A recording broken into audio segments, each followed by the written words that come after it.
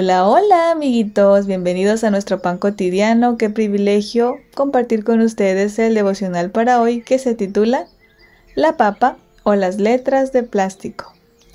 El versículo de hoy se encuentra en Hebreos capítulo 13, versículo 5. ¿Me acompañan a leerlo? Leamos juntos, amiguitos. Manténgase libres del amor al dinero y conténtese con lo que tienen. Hace algún tiempo vi un curioso video. Era un compilado de videos cortos enviados por diferentes padres. Ellos habían grabado las reacciones de sus hijos al regalarles cosas que ellos no esperaban para la Navidad. Como te puedes imaginar, había regalos muy graciosos como sándwiches mordidos, brócolis, bueno, de todo. El video que más me sorprendió e hizo pensar fue el de los dos hermanitos. Ambos tenían regalos bastante ridículos. Uno tenía una papa cruda y el otro tres letras de plástico. El niño que recibió las letras de plástico comenzó a quejarse automáticamente. No lo podía creer. ¿Letras plásticas como regalo de Navidad?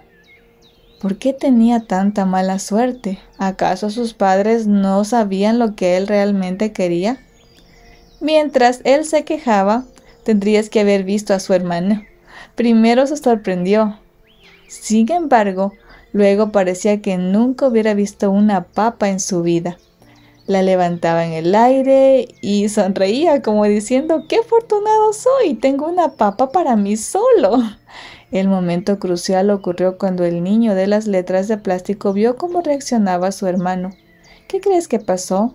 Enojado y llorando dijo, Él recibió lo mejor y yo lo peor. ¡Qué injusto! Mientras se iba, los padres preguntaron al niño de la papa si le gustaba su regalo. Sonriendo dijo sí. De paso, ¿no te parece que tres letras de plástico eran mejor regalo que una papa? ¿Sabes? Me encantó ver la reacción del niño de la papa. Tanta gratitud y alegría manifestó que hasta convenció a su hermano con su actitud de que su papa era el mejor regalo aunque su primera expresión no fue amor a primera vista por la papa, decidió ser feliz y estar agradecido por lo que tenía. En la vida, todos hemos recibido regalos. Hay quienes han recibido más, sin duda, tal vez una casa más bonita, ropa, juguetes. Otros han recibido una papa tal vez menos juguetes, ropa o no tan bonita, una casa sencilla, pero muchas veces la actitud de la persona cuenta más que lo que tenga.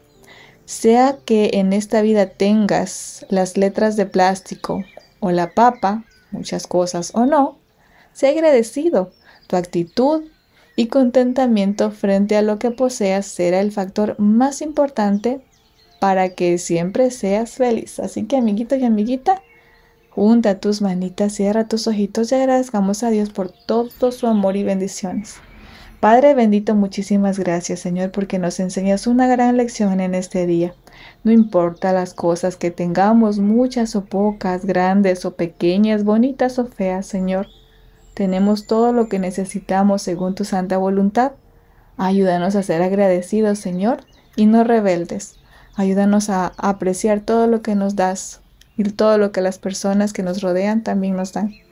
Ayúdanos, Señor, a poder dar mucha bendición a las personas necesitadas. Gracias en el nombre de Jesús. Amén.